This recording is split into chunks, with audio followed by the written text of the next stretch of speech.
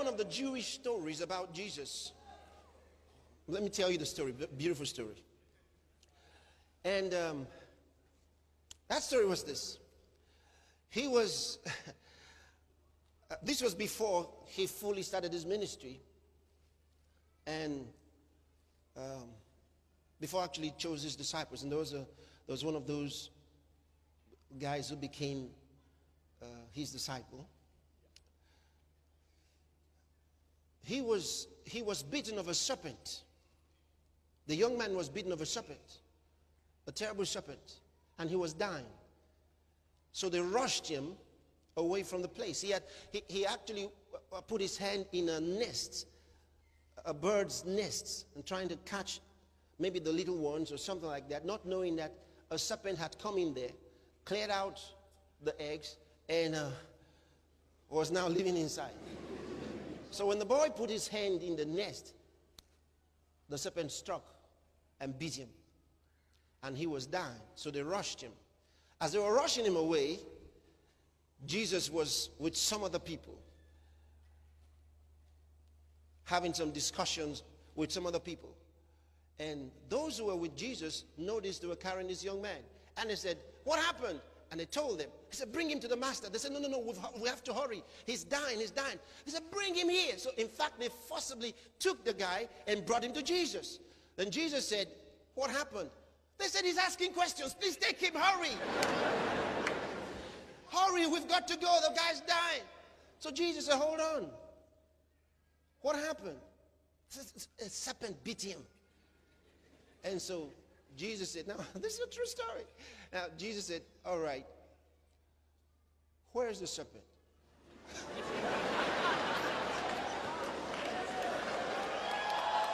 hold on, hold on. They said, Over there, over there, someplace over there. So he said, Let's go. Let's go. so they followed Jesus together with the boy that was dying. And they went back to the place.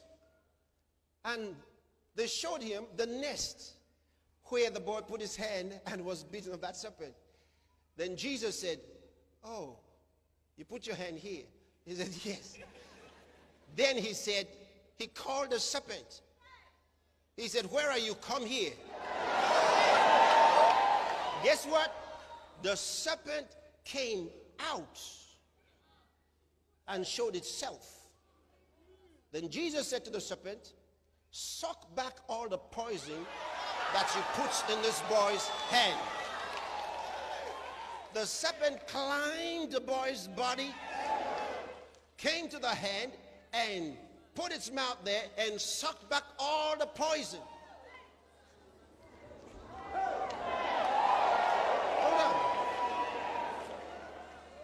And then went away and actually died.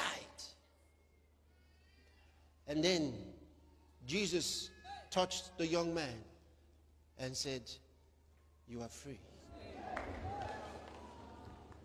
That young man became one of his disciples. Now, here was uh, there's so much in there.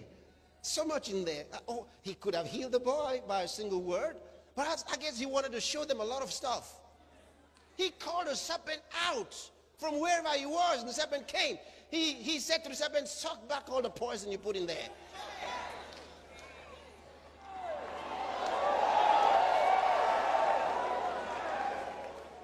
This is authority.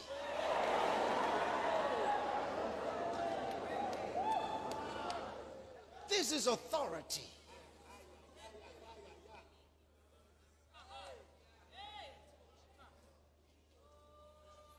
I remember one time, you know, I was praying a long time ago.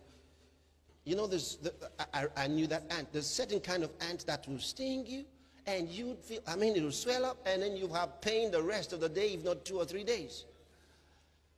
So, I was bitten of that uh, ant while I was praying. And I felt it and I turned and it was this ant. I said, Oh, no longer possible. And I continued what I was doing. no pain. Everything was normal, no pain.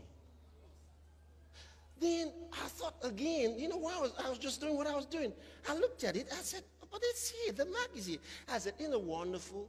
I wasn't trying to resist pain, it just wasn't there. Because whatever it injected, which used to cause that terrible pain, whatever it injected couldn't walk anymore. You see, you come to a point in your life where you understand, I got the life of God in me. Are you still there? Christ consciousness. There may be little things. But you have the, the nature of God in your spirit. You've lost your fears. Glory to God. Remember what Jesus said these signs shall follow them that believe.